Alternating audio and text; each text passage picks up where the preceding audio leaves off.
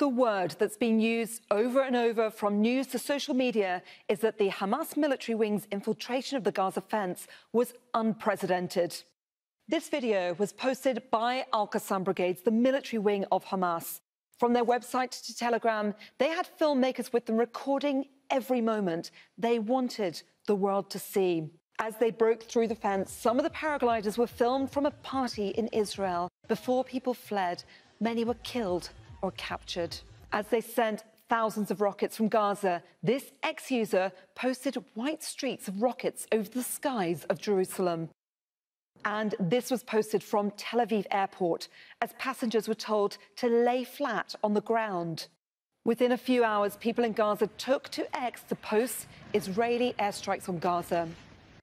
There has been much criticism across the platforms. Firstly, how Israel could have been blindsided Journalist Bel Trew stated on X that it's a birthplace of the world's most powerful surveillance software, but no one saw this coming.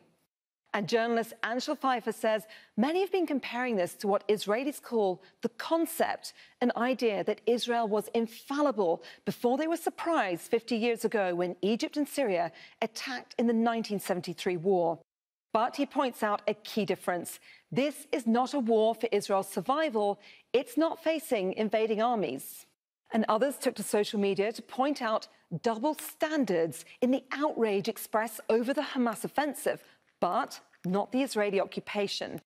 Poet Remi Kanazi pointed out that calm is when Gaza is bombed, villages are invaded, homes are bulldozed, journalists are shot. Calm shattered is when Palestinians respond and cartoons depicting the moment Al Qassam brigades broke through the Israeli fence have been shared across social platforms. Cartoonist Mahmoud Arafai posted this of the parachutes across the Gaza fence.